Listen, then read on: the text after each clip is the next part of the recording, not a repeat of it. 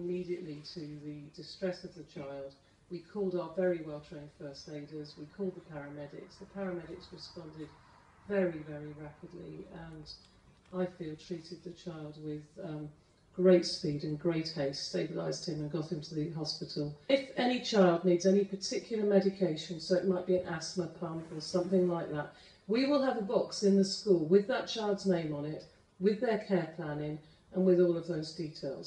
Head teacher বলেন ছেলেটি একাই একটি রুমে ছিল এই তথ্য সঠিক নয় এবং তার পরিস্থিতি বিবেচনায় দ্রুত ব্যবস্থাও নিয়েছিলেন তারা There has been a suggestion that the child was on his own, and that was never the case.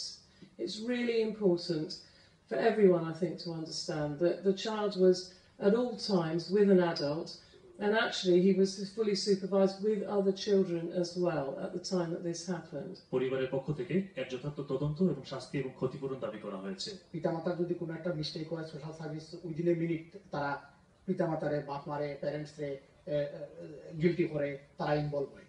স্কুলের এত বড় একটা গ্রস নেগলিজেন্সি আজকে তিন দিন ধরে চার দিন ধরে সোশ্যাল সার্ভিসের কেউ এই প্যারেন্টসের লগে কন্ট্যাক্ট করছে না।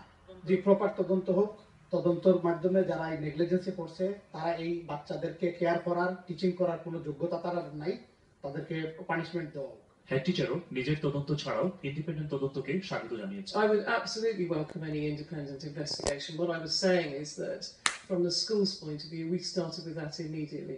My, my message really is at this time, a very, very challenging time for Nasser and his family, that I think we should focus on supporting them and praying for them এদিকে town হাউসের নির্বাহী mayor John ডিক্স এ ব্যাপারে education ডিপার্টমেন্টে report চেয়েছেন। পাশাপাশি পরিবারের প্রতি জানিয়েছেন সমবেদনা।